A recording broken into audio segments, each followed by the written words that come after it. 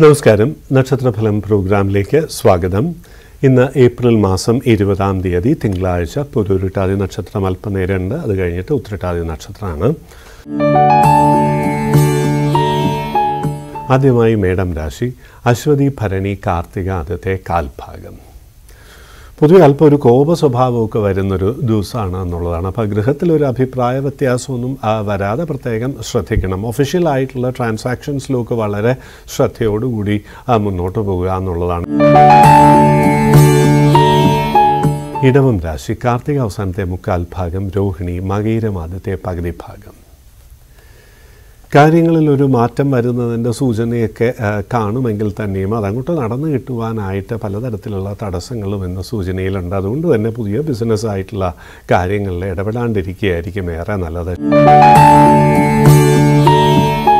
മിഥുനം രാശി മകയിലെ അവസാനത്തെ പകുതി ഭാഗം തിരുവാതിര പുണർദം മുക്കാൽ ഭാഗം.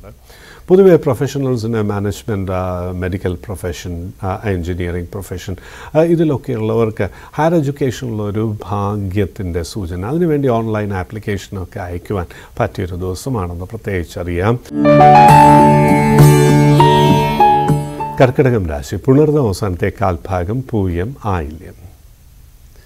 വൈകാരികമായി സന്തോഷം ഉണ്ടാക്കുന്ന അനുഭവങ്ങൾ വരാനുള്ള ഭാഗ്യമുണ്ട്. രാശിയിൽ ജനിച്ചവരുടെ കുട്ടികൾക്ക് അവരുടെ അക്കാഡമിക് അറ്റൈൻമെന്റ്സ് ആർട്ടിസ്റ്റിക് അറ്റൈൻമെന്റ്സ് അതിനുള്ള സാധ്യത ഏറെയാണ്. ചിങ്ങം രാശി മകം പൂരം ഉത്തരമാദ്യത്തെ കാൽഭാഗം.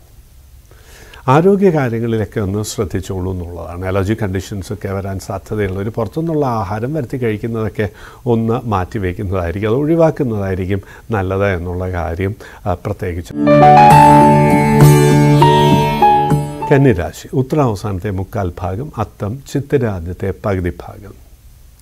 പുതിയ ബിസിനസ്സിനെ കുറിച്ചൊക്കെ ചിന്തിക്കും. എങ്ങനെ ഇൻവെസ്റ്റ് ചെയ്യാം? റിയൽ എസ്റ്റേറ്റിലേക്ക് പ്രവേശിക്കണോ അല്ലെങ്കിൽ ഫോറിൻ ഇൻവെസ്റ്റ്മെന്റിലേക്ക് ശ്രമിക്കേണ്ട കാര്യമുണ്ടോ എന്നൊക്കെ ഒരു ചിന്തിക്കുകയും അതിലൊരു തീരുമാനമെടുക്കുകയും ചെയ്യുന്ന ഒരു ദിവസമാണ്. അത് പിന്നീട് ലാഭത്തിൽ കൊണ്ടു ചെന്നെത്തിക്കുവാനുള്ള സാധ്യതയും ഏറെയാണ്. റിയൽ എസ്റ്റേറ്റിനെ കുറിച്ച് ചിന്തിക്കുവാനും വസ്തു വാങ്ങുന്നതിനെക്കുറിച്ചൊരു തീരുമാനമെടുക്കുവാനും ഭാഗ്യമുള്ള ഒരു ദിവസമാണെന്നും പ്രത്യേകിച്ചറിഞ്ഞോളൂ തുലാം രാശി ചിത്തിര അവസാനത്തെ പകുതി ഭാഗം ചോതി വിശാഖം ആദ്യത്തെ മുക്കാൽ ഭാഗം.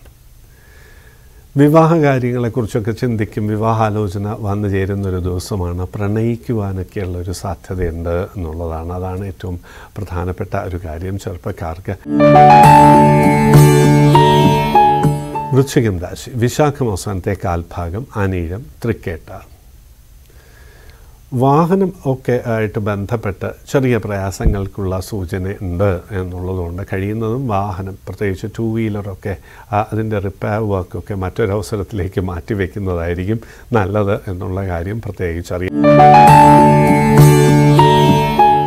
ധനുരാശി മൂലം പുരാടം ഉത്രാടമാദ്യത്തെ കാൽഭാഗം ദൂരസ്ഥലത്തൊക്കെ ജോലിക്കായി ശ്രമിക്കുവാൻ താല്പര്യം വരുന്ന ഒരു ദിവസമാണ്. വിദേശ ജോലിക്കൊക്കെ ആപ്ലിക്കേഷൻ അയക്കുവാനുള്ള ഒരു യോഗമുണ്ട്. കലാസാഹിത്യ രംഗങ്ങളിൽ പ്രവർത്തിക്കുന്നവർക്ക് റെക്കഗ്നിഷൻ അംഗീകാരം ഒരു അവാർഡൊക്കെ ലഭിക്കുവാനുള്ള ഭാഗ്യമുണ്ട്. മീഡിയയിലൊക്കെ പ്രവർത്തിക്കുന്നവർക്ക് ഫിലിം പ്രൊഡ്യൂസേഴ്സ് ഡയറക്ടേഴ്സ് ഇവർക്കൊക്കെ ഒരു റെക്കഗ്നിഷൻ വരാനുള്ള ഭാഗ്യമുണ്ട്. മകരം രാശി. ഉത്രാട അവസാനത്തെ മുക്കാൽ ഭാഗം തിരുവോണം അവിട്ടം ആദ്യത്തെ പകുതി ഭാഗം. ശരീരത്തിനൊരു ക്ഷീണം ഉറക്കവുമായിട്ട് ബന്ധപ്പെട്ട ചെറിയ പ്രയാസങ്ങളൊക്കെ വരുവാൻ സാധ്യതയുണ്ട്. ചെറിയൊരു ആരോഗ്യ പ്രയാസമൊക്കെ പ്രായമായവർക്ക് വരുവാനുള്ള സൂചനയുണ്ട്. കുംഭം രാശി. അവിട്ടം അവസാനത്തെ പകുതി ഭാഗം ചതയം പുരൂരിട്ടാതി ആദ്യത്തെ മുക്കാൽ ഭാഗം. വാഹനത്തിന് കുറച്ച് ഇൻവെസ്റ്റ്മെന്റ് ഒക്കെ നടത്തുന്ന ഒരു ദിവസമാണ്. പുതിയ വാഹനത്തിന് അഡ്വാൻസ് ഒക്കെ പേ ചെയ്യുക. അതിനെക്കുറിച്ചൊരു തീരുമാനമെടുക്കുക. അല്ലെങ്കിൽ ഒരു റിയൽ എസ്റ്റേറ്റിന്റെ പർച്ചേസിന് വേണ്ടിയിട്ട് അഡ്വാൻസ് ഒക്കെ കൊടുക്കുക. ഒരു തീരുമാനമെടുക്കുക. അതിനുള്ള ഭാഗ്യമുണ്ട്. മീനം രാശി. പുരുരുട്ടാതി അവസാനത്തെ കാൽഭാഗം ഉത്രിട്ടാതി രേവതി. പണച്ചെലവ് വരുന്നൊരു ദിവസമാണ്. പഴയ ബാധ്യതയൊക്കെ ഉള്ളവർക്ക് അല്പം ഒരു ടെൻഷനുള്ള സാധ്യതയുണ്ട് എന്നുള്ള കാര്യം പ്രത്യേകിച്ച് അറിഞ്ഞോളൂ. പക്ഷെ പ്രത്യേകിച്ച് വിഷമിക്കേണ്ട കാര്യമില്ല. പുതിയ ബിസിനസ്സിന് ഗവൺമെന്റ് സാങ്ഷനൊക്കെ ലഭിക്കുന്ന ഒരു ദിവസമാണ്. വേണ്ടപ്പെട്ടവരുടെ സഹായമൊക്കെ വന്നു ചേരുന്നതുകൊണ്ട് പഴയ കടമൊക്കെ ഉണ്ടെങ്കിൽ അത് അല്പം ഒന്ന് കുറയ്ക്കുവാൻ കഴിയും എന്നുള്ള കാര്യവും പ്രത്യേകിച്ച് അറിഞ്ഞോളൂ.